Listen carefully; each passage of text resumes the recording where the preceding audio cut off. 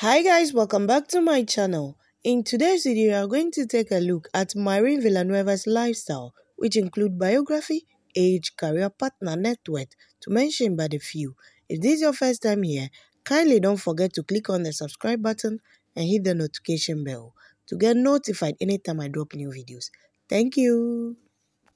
Her full name is Mayrín Villanueva Yua. Her screen name is Mayrín Villanueva.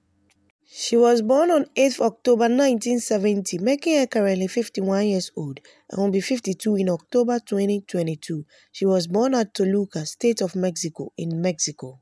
She stands at a height of 1.65 meters. Her zodiac sign is Libra and her nationality is Mexican. Her education Mayrín completed her education from primary school and college in Mexico. She also completed the Centro de Educación Artística de Televisa in Mexico City. By profession, she's an actress and model, yes, active 1997 till present. Her career, Mayrín has modeled for different magazines. She has also been a part of Viceno series since 2005.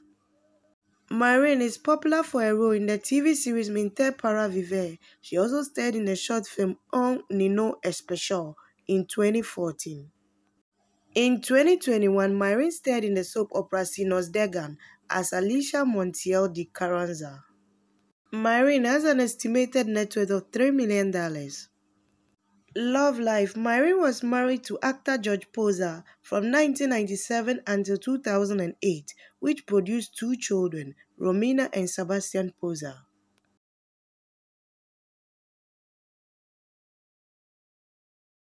She is currently married to Mexican actor Eduardo Santamarina since 2009 with one child, Julia Santamarina.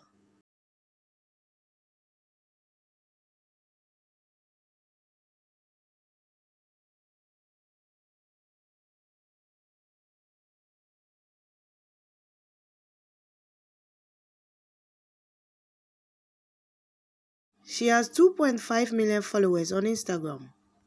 Mayrín has 1.9 million followers on Facebook. She also has over 600,000 followers on Twitter. Television shows featured include the following.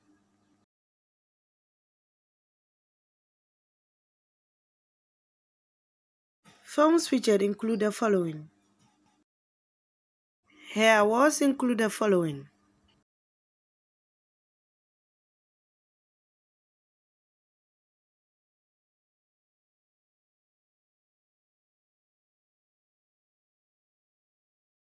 Thank you so much for watching. Kindly don't forget to like, comment, share and subscribe. Stay safe till we meet in the next one. I love you and it's bye for now.